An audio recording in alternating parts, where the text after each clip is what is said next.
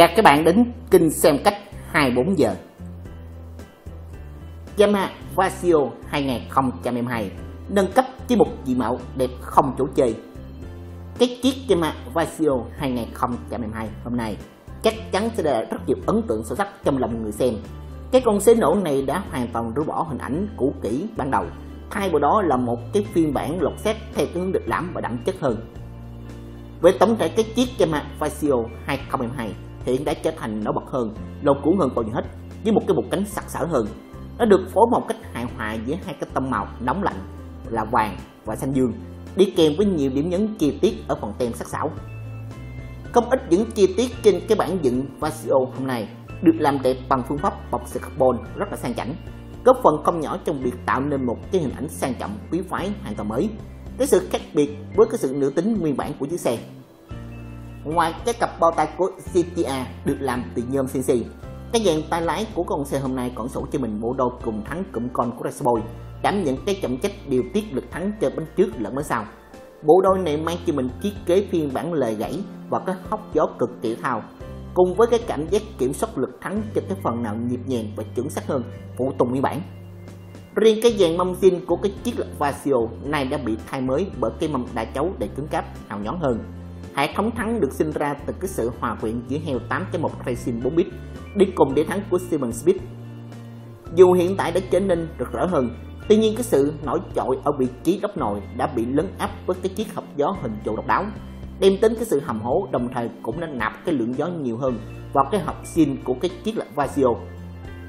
Trước mắt anh em thấy là một cái dòng phục của Crow Spender, mẫu phục là cực kỳ mới mẻ thời điểm hiện tại, có cái phần vỏ bình dầu CNC nó có cạnh hơn cái sự khác biệt mẫu phục này là cái bình dầu trên thị trường hiện nay.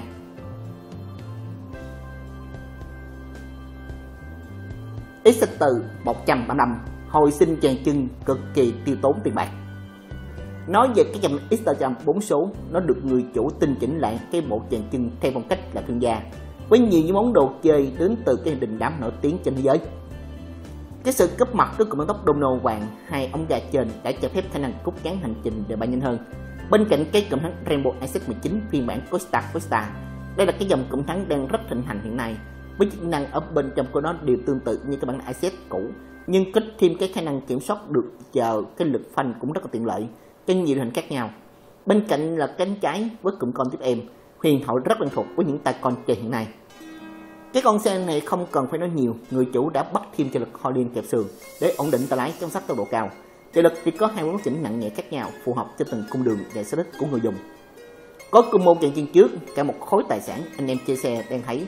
Heo của Rainbow Bidix 20 xứng giá chừng 10 triệu đồng. Kết hợp với đĩa của Rainbow Oversize kích thước là 267 để bắt về cái mâm Etna người chủ phải CNC kim thất lòng ở bên trong. Là một con xe dùng thanh đùm phía sau nên khi đậu lên phanh đĩa vị trí đặt cái bên đạp cũng khiến cho nhiều người phải đau đầu. Chính vì thế bộ phách RCC đã ra đời show ra được cái bột ben rainbow. Ngoài ra cũng miền lạc dễ chế cháo mà không cần cắt hàng dàn áo chi tiết nào hết. Chung quanh chúng ta đang thấy cái chiếc Instagram này chính là nâng cấp phần dàn chân rất là bật ở phía sau. Với con heo của Rainbow Blitz hay biết xứng, kết hợp với đĩa của Daytona, kích thước 190 phần phách heo được làm sinh nhật 9 độ, tạo một kiểu dáng ngầu hơn tự như cái dòng phân cơ lớn. Việc trang bị phục Holden bình dầu rời phía sau, đến thời điểm cũng được nhiều anh em chơi xe này cũng đam mê bởi vì mức giá và nét đẹp của nó. Trên bình dầu, chân phục được trang bị nấc tăng chỉnh để kiểm soát độ hồi của phục một cách tốt hơn khi chúng ta tải nặng hoặc đi hai. Hãy chiêm ngưỡng em ấy lần nữa nhé. Cảm ơn các bạn theo dõi clip này. Hãy để tiếp nhớ like, subscribe.